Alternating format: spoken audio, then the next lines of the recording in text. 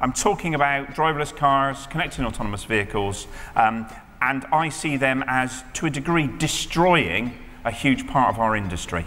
And I think that's great. By 2040, conventional motor insurance will be down to about 20% of the premiums that it currently occupies. As well as having all these societal and uh, technological things challenging motor insurance, we also cannot rely on our size and our dominance anymore. So I think we as insurers need to be a bit more like Tesla and a bit less like King Canute. When the government's announced uh, further rounds of funding, and amazingly, uh, a little insurance company is now part of five of these government-backed consortia. We talk about the four T's, transport, time, testing and trust.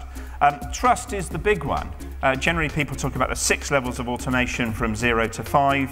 Um, the way I tend to refer to it is, is only levels four and five are truly autonomous.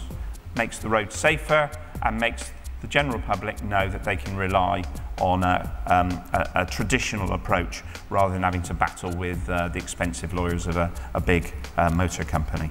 We're also really, really keen that small independent firms get access to that data. We have uh, an accident and the only person who can actually show what happened and who's to blame uh, would be one of the potential defendants and they're not prepared to share it with anyone else. Finding ways to bring in that entrepreneurial spirit, continue to invest in develop, but also make sure that the rest of the group gets that benefit.